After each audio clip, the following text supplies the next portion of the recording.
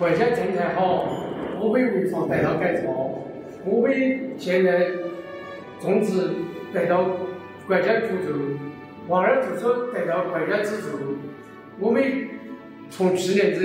已经脱贫，四月份，今年我们准备了十多个菜，我们一年过得比一年好，一年更比一年丰富，吃的穿的，我们很高兴。